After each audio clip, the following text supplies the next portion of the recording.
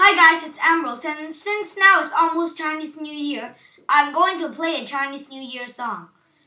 In the Chinese, it's called 恭喜恭喜你, and in the English, I don't know. My teacher also don't know, so just listen.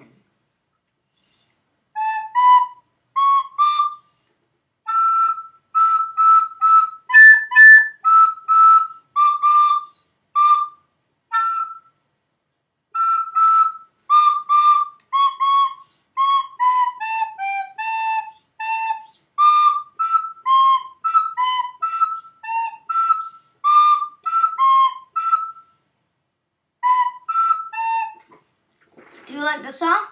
So if you want to be friends with me, comment down below what is your favorite Chinese New Year song and have a nice holiday in the Chinese New Year. Make sure you don't eat so much mooncake. Bye.